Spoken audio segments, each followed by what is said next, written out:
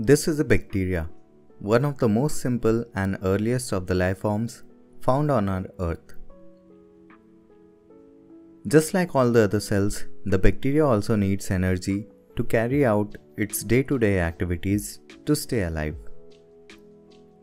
For this, the bacteria uses the most common source of energy, glucose, which is in fact used by a vast majority of the cells. The covalent bonds in the glucose are broken down to release energy, which is then stored in the form of ATP. But what happens when the glucose is not available or it is totally consumed? Does the bacteria simply accept its fate and wait to starve to death? The answer is no. This bacteria refuses to die, and during the course of evolution, it has evolved strategies to deal with such situations. In absence of glucose, it can break down other carbohydrates like lactose to meet its energy requirements. But how this shift from glucose to lactose as energy source is performed? Let's find out in this video.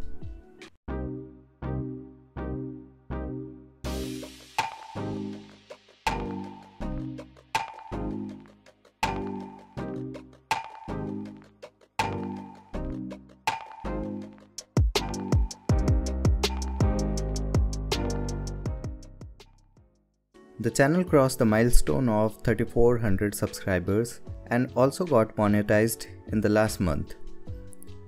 So a special thanks to all of you for all your love and support for all these years. So the transition in bacteria's metabolism was studied in detail by two scientists, Francois Jacob and Jacques Monod in the year 1961 using E. coli. They observed that when E. coli was grown in a medium containing glucose, the enzymes required for glucose breakdown were produced, while negligible amounts of lactose metabolizing enzyme were present. But when E. coli were transferred to a medium lacking glucose but having lactose, the bacteria started to produce the enzymes required for lactose breakdown within a few minutes. Jacob and Monod were able to identify the mechanism behind it.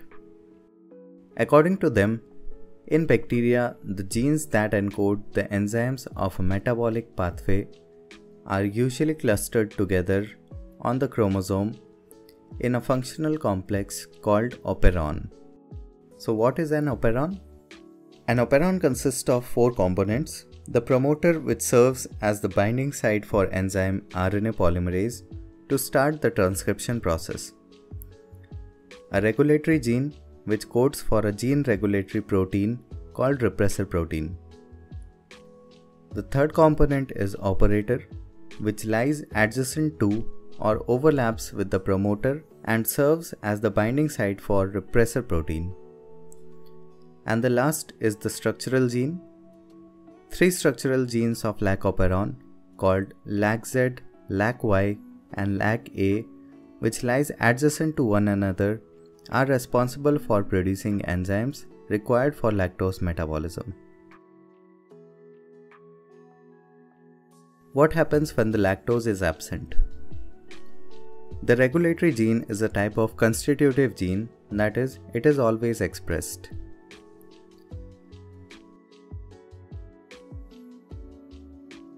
The RNA polymerase binds to the promoter site of regulatory gene. This binding enables the transcription of the gene, resulting in formation of repressor mRNA. Ribosomes bind to the repressor mRNA and is translated to repressor protein. The repressor protein thus synthesized has high affinity for the operator sequence present before the structural genes. As a result, the repressor proteins binds to the operator. RNA polymerase binding to the promoter of the structural genes cannot transcribe it due to the blockage created by the repressor at the operator site. As a result, no enzymes for lactose metabolism are produced in absence of lactose.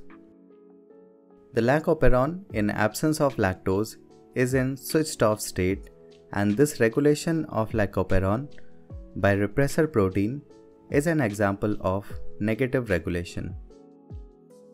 What happens when the lactose is present? In presence of lactose also, the repressor protein is continuously synthesized by the regulatory gene but the lactose molecules binds to the repressor protein causing its inactivation.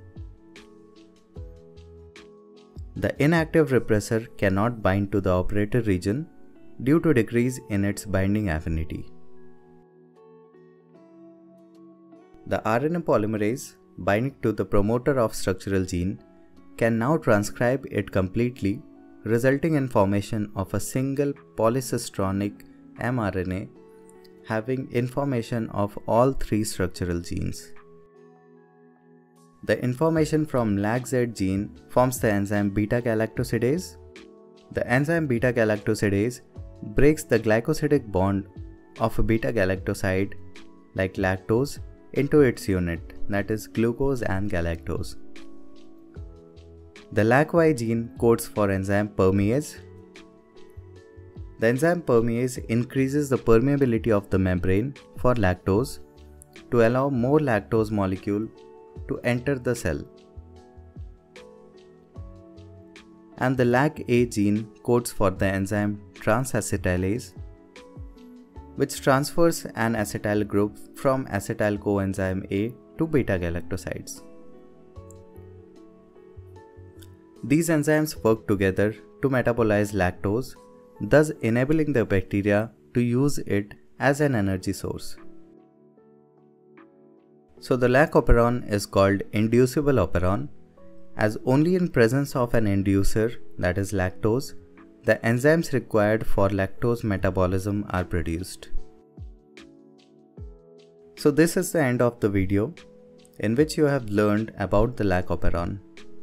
There are a lot more videos on the channel on topics like molecular biology, cell cycle, anatomy of plants that you can watch to clear your concepts.